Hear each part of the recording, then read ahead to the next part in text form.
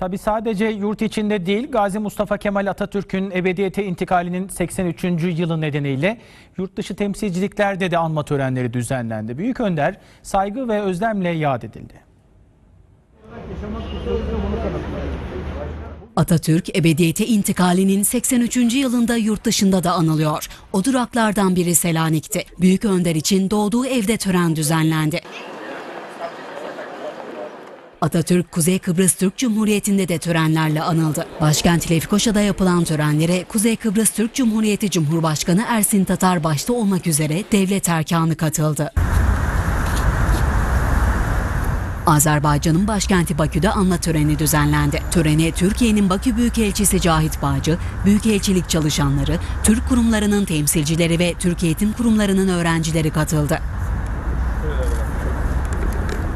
Saat 9'u 5 geçe gerçekleştirilen saygı duruşunun ardından Büyükelçilik binasındaki Türk bayrağı yarıya indirildi.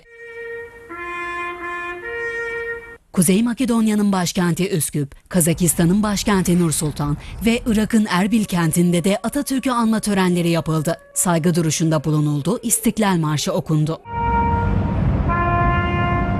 Çin'in başkenti Pekin'deki törenin adresi Türk Büyükelçiliğiydi. Büyük Önder'in özel görüntülerinden oluşan kısa bir video gösterim yapıldı. Anma töreni kapsamında elçilik bahçesindeki Atatürk büstü de güllerle süslendi.